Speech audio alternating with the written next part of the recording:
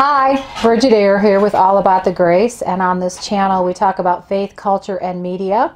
And I wanted to let you know I do have a brand new book called Breaking New Ground Discipleship Using New Media. So if you haven't heard about that, um, it's on Amazon and it's all about evangelization using um, digital media. And today, uh, oh, if you haven't if you haven't subscribed to my channel, uh, click the red button, the red subscribe button below, and then you'll get uh, my videos when they are uploaded immediately. And you can click the little, there's a little bell, you can click that too, and then that'll you'll get a notification when um, I do upload a video.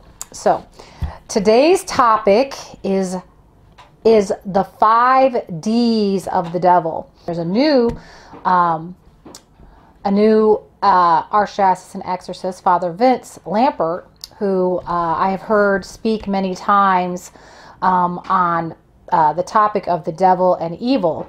And one of the talks he gave, he gave a talk at Holy Rosary a couple years ago. And one of the things he said is that as an exorcist, a lot of people are very interested in the extraordinary ways that the devil tries to trip us up and then people think of, you know, the movie The Exorcist that was, I think, back in the 70s and all kind of the weird things that happened in that movie.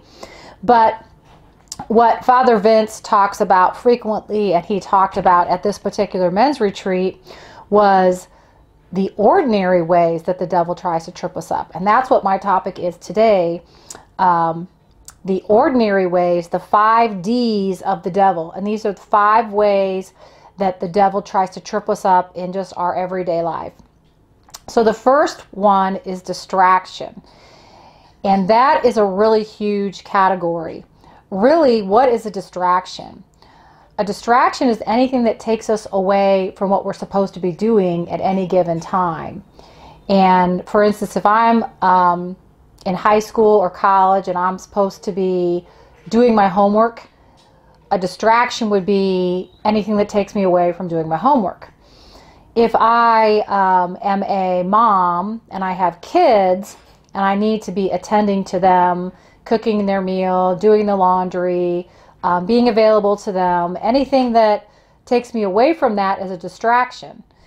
And um, so there's a lot of different ways we can be distracted, and it's okay to take breaks and all that. But distractions really get us off track from what we're supposed to be doing.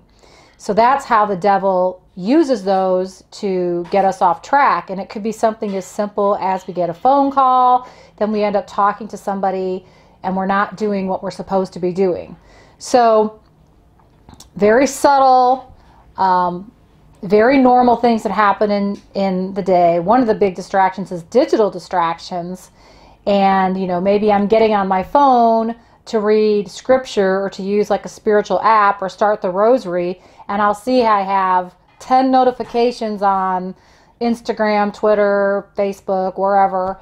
And then I start looking at those and then I never get around to praying. So that's a really simple way, a simple distraction that you get off track and the devil uses to get you off track. Okay, number two, distortion.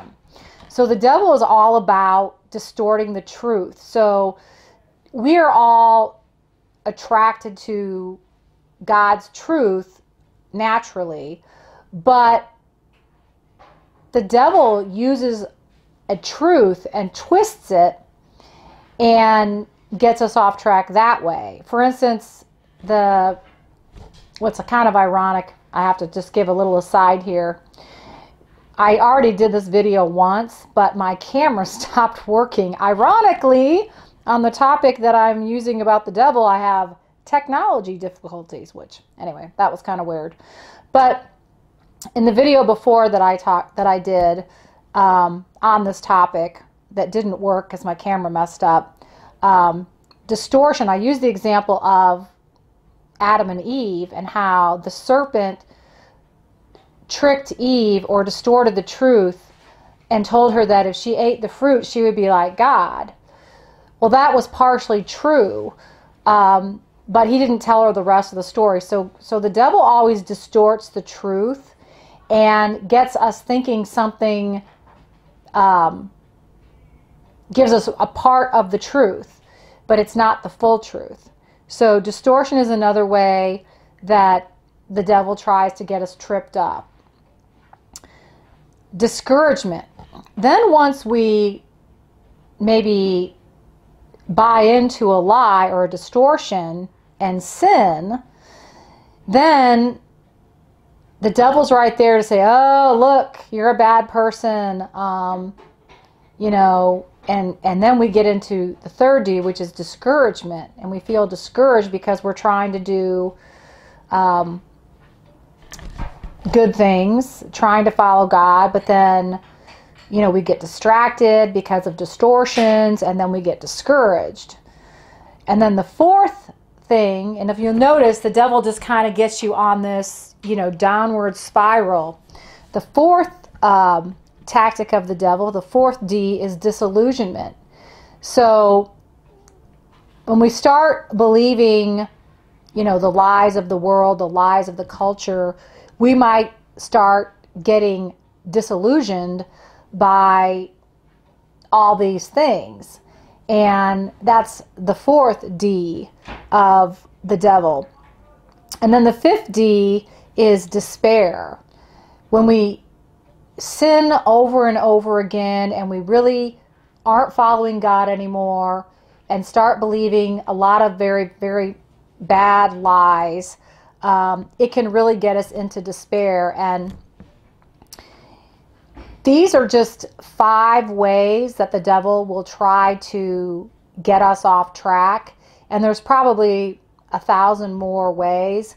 But these are five of the ways that uh, Father Vince Lampert had talked about in his talk. And if I can get a copy of that talk um, that I can link up to this short video, you could um, listen to that entire talk. He used a lot of scripture, and um, I even just think about a one really great scripture, and I'll put the scripture below. I can't think of what it is off the top of my head, but it's the story when Jesus went into the desert and the devil tried to tempt him.